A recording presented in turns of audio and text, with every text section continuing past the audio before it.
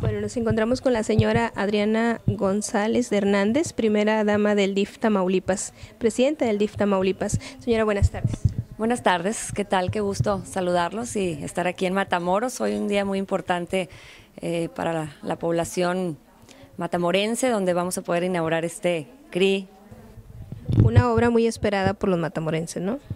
Así es, así es. Esta es una obra que que precisamente fue como petición, desde que estábamos en campaña, fue una, una de las peticiones que recibió mi esposo Eugenio de poder contar con un centro de rehabilitación aquí en Matamoros y con eso pues poder crear una red de infraestructura en el tema de rehabilitación y atención, eh, donde ya podemos entregar alrededor de, de tres CRI en Nuevo Laredo, aquí en Matamoros, en Mante, poder también rehabilitar nuestro CRE en Ciudad Victoria, que ampliamos su cobertura de atención y poderlo hacer uno de los centros más este, importantes del país.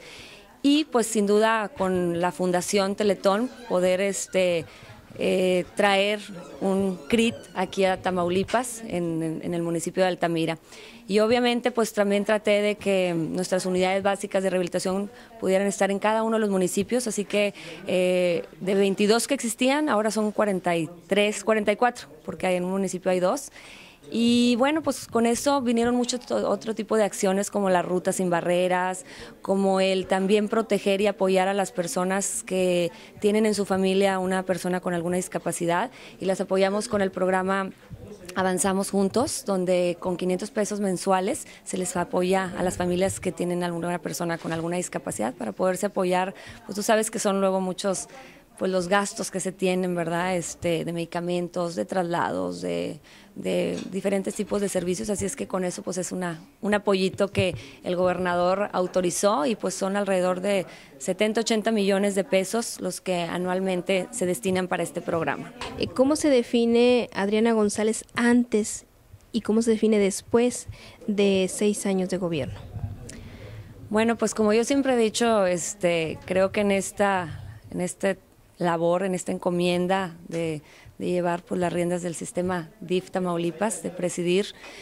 Eh, pues he ganado mucho más yo que lo que he podido dar, así lo siento, porque creo que pues he aprendido muchísimo la gente, he podido compartir mucho con la gente, eh, pues he ganado muchas satisfacciones realmente y pues todo esto me ha llevado a motivarme más y, y pues a poder enfocar pues ahora sí que todas mi mi entrega, todo mi tiempo a, la gente que más lo requiere. Hicimos pues muchos programas muy importantes y ahorita pues estamos ya en la recta final, a unos días nada más de terminar, pero creo que este, nos vamos muy satisfechos, Eugenio y yo, muy contentos y sobre todo pues el haber tenido el privilegio de de pues de poder convivir con tanta gente, con sobre todo con la gente.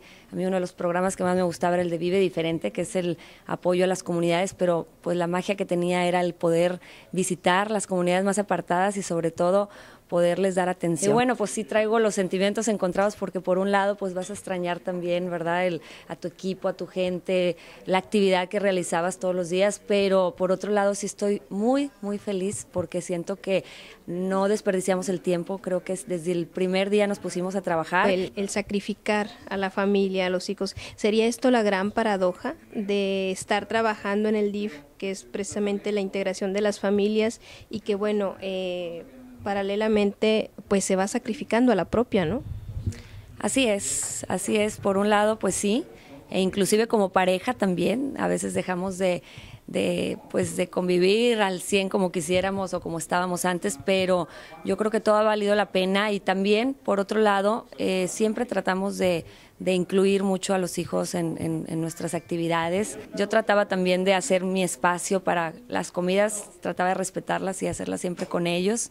Eh, a lo mejor no iba a todas las fiestas ni a todos los... Este, eh, recogerlos todos los días a las escuelas, pero sí hacía mis espacios también para estar con ellos y, obviamente pues con Eugenio este, también. Los domingos sí eran muy familiares porque sí era, era un, pues algo que nos, este, desde un principio tratamos, ¿verdad?, de que el dominguito fuera este, para convivir, claro, porque también para poder este, tú dar darte a la gente, pues tienes que estar este, nivelado, ¿verdad? Estar estable, estar bien, emocionalmente estar estable. Entonces, yo creo que eso nos ayudó mucho y sí, sí pasamos momentos también difíciles, momentos, este, eh, en el sentido de, pues, de, pues, por el tiempo, por eh, pues temas también a veces de este con el tema de la inseguridad y, y lo que tú quieras, ¿verdad? Pero yo creo que este pues sacamos mucho más más beneficio, vamos, nos vamos muy contentos como familia, muy felices y,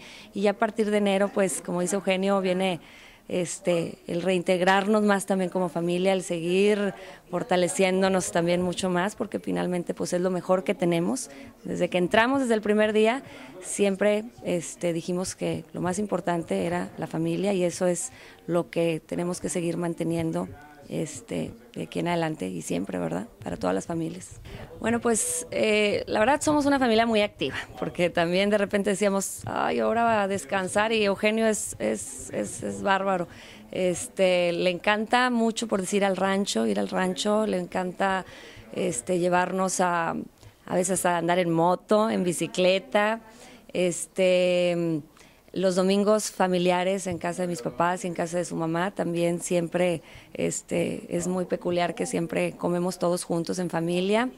Este, y bueno, pues es, es un, los domingos son, son entre que de, de pasarla a gusto, pero también somos de, de, hacer actividades. O sea, si nos vamos, de repente nos íbamos a la sierra, andar, como te digo, en moto, o de repente a montar a caballo, también le gusta mucho montar a caballo. Sí, sí, como que este y ver películas, también nos gustaba mucho ver películas, este en las tardes ya como de 7 a 9 y, y este, pero pues sí, domingos como todas las familias, este a gusto con los hijos. Yo creo que los tamaulipecos lo pudimos advertir, un gobierno muy humano, muy cerca de las familias. Eh, nosotros en la estación hacemos mucha labor social y lo pudimos percibir, que por cierto aprovecho para agradecerle que en aquel momento en que le pedimos ayuda con la gente de la comunidad de San Lorenzo, este, se atendió y de forma inmediata. Creo que esos niños y esas familias se lo agradecen bastante.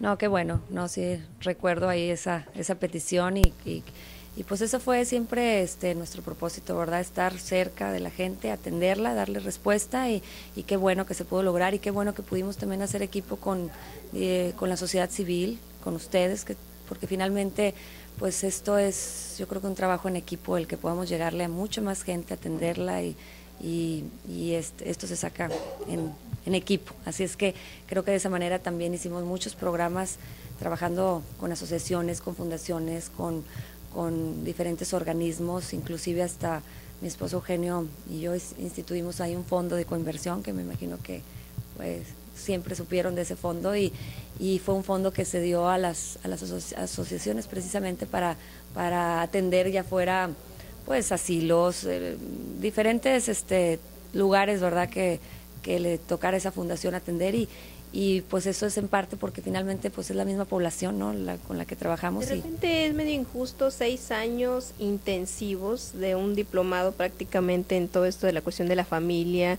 y los programas sociales y de repente se termina el periodo y se van. En este caso no quedan ganas de aprovechar esa experiencia y de hacer algo, algo más por los tamaulipecos o por los mexicanos. Sí, claro, porque si algo si algo bueno sacamos de esto es, como dices tú, a sensibilizarte mucho más, entonces pues te quedan muchas ganas de seguir ayudando, ¿verdad?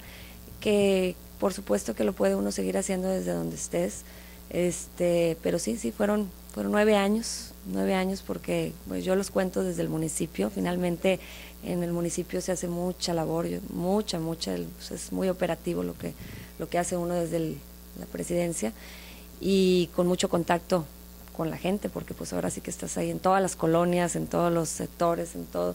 Entonces, este, pues sí fueron nueve años y este, y pues sí, sí, sí te quedan las ganas de seguir, pero yo creo que ahorita pues vamos a, vamos a descansar un rato primeramente, ¿va? porque sí lo necesitamos.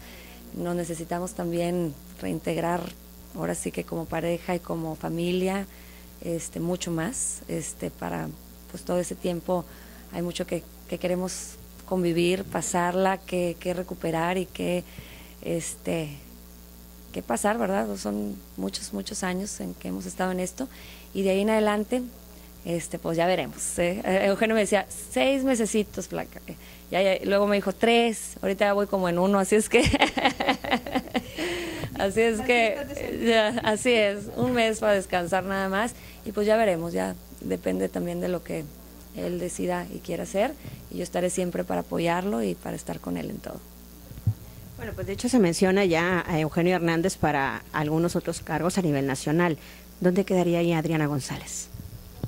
Pues yo quedaría al lado de él, siempre apoyándolo, lo que él decida. Yo estoy muy puesta para, para estar con él. La verdad que no hemos platicado para nada de eso, ni queremos platicarlo ahorita, porque ahorita lo único que queremos platicar es entre él y yo este, descansar y pues, convivir y estar con nuestros hijos, pero lo que, lo que venga, lo que él decida, ahí estaré siempre con él para apoyarlo y, estar con él.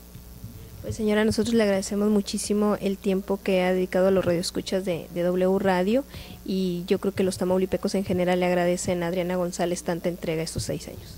No, al contrario, muchas gracias a ustedes, gracias a, pues ahora sí que a toda mi gente de Matamoros tan linda, que siempre gocé la verdad venir aquí con, pues, con, todos, con todos ellos. Y pues obviamente con todos los tamaulipecos el que se me haya dado la oportunidad de poder servir, poder ayudar, primeramente a Dios, después pues a mi esposo, como le dije, de confiar en mí, en que llevara las riendas del sistema DIF y obviamente pues el apoyo que siempre recibí de las presidentas de los sistemas DIF municipales y de los presidentes que siempre, siempre este, estuvieron puestos a apoyar en el tema de asistencia social. Yo creo que este, eso fue fundamental y sin duda, bueno, pues nos vamos muy contentos, muy felices y con lo mejor que es el cariño de nuestra gente.